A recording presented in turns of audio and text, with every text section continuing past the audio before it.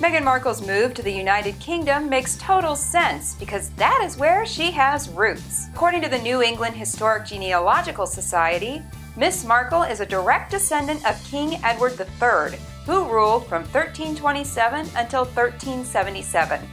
The connection comes from her father's side of the family and is by way of her nine times great grandfather, Reverend William Skipper. The Reverend studied with Oliver Cromwell at Cambridge University before moving to Boston, and her brother in law to be is the Duke of Cambridge. Skipper finished his degree at Cambridge in 1618. Markle's family are descendants through his first wife, Jane. Skipper emigrated to the United States after he married his second wife, Sarah.